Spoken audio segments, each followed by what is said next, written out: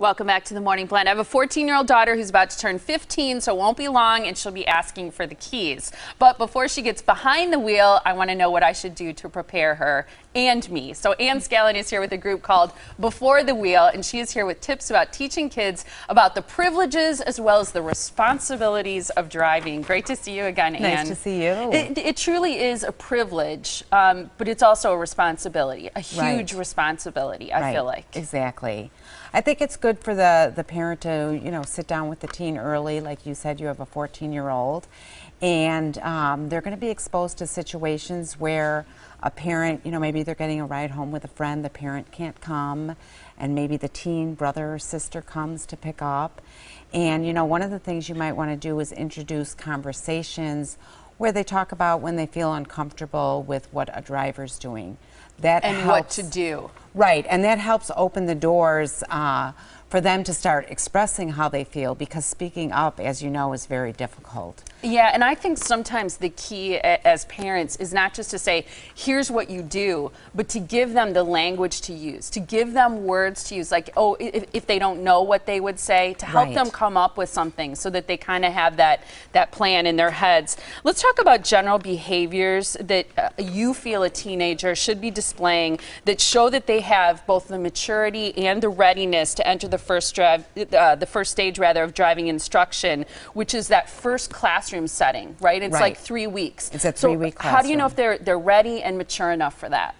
Well, what you want to look at is are they taking things seriously in the car? They're a passenger right now mm -hmm. in your car or in carpools or you know friends, family, and are they putting on their seatbelt? I'm glad you brought that up because this is how this topic came up. I said, my 14 year old, I hate to rat her out. She's at school, thankfully. No, I'm kidding. But she was reluctant or slow sometimes to put on her seatbelt in the passenger seat. And I was like, that's not going to fly. That's not going to work. And I told you about it. How do you encourage it? And you said, well, one way you can encourage it is by saying, if you don't do it as soon as you get in the car as a passenger, you're not ready to be a driver. So you delay that the, the start of instruction. Right, exactly. And so you, you have that that conversation with your child and say, what do we need to look at here? You know, are you really ready for that? Because seatbelts are the biggest things. The teens will put it every single time. They'll put it on in the car with the parents. And then they get together with friends and they don't do it. We're fortunate in Wisconsin. We have, you know, Donald Driver right now is doing a seatbelt mm -hmm. campaign. Seatbelts are crucial. They, they save lives. You can get into a pretty bad accident and survive if you're wearing a seatbelt. And vice versa, you can get into a fender bender or a fairly mild accident but be seriously hurt. Right, exactly.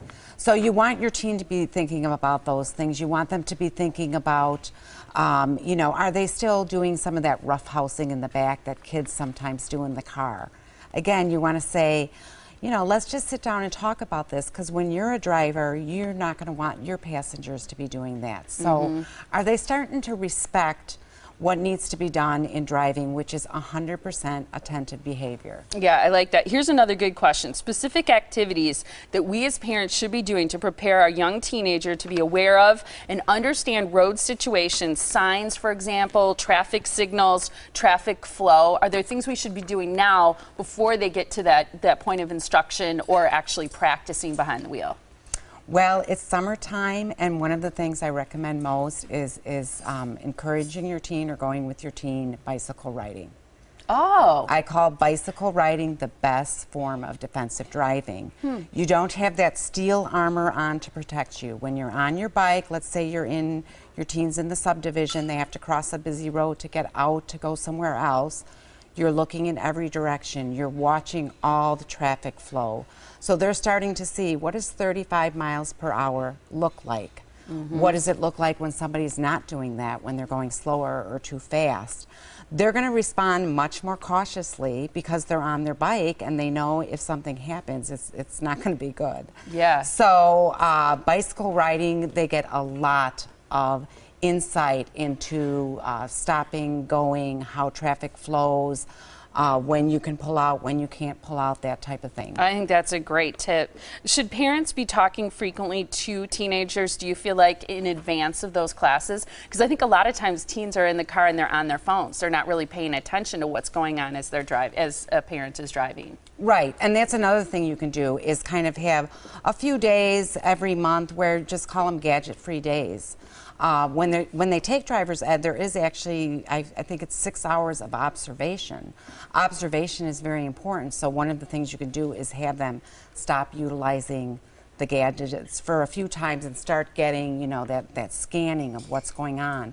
One of the big things is what other drivers are doing. I mm-hmm. think your teen's going to be very surprised to see how many people are texting and talking on the phone And, not paying attention to and the- not paying yeah. attention. So you, I often sa- said to my children, "You're probably one of the best, more focused drivers out there," and that's true. So they can realize that they have to make up. That driver that is talking on the phone is impaired, and so they have to make up for that.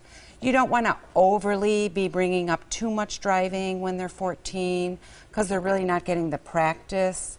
But you want to help them to see that there are certain behaviors that prepares them. And as, as certainly as they get close to 15, you have a great resource online, great newsletter as well. You can go to um, beforethewheel.com. They're supporting safe teen driving. You can find out more about all the resources they have available. Again, it's beforethewheel.com. Thank you so much, Anne. And now.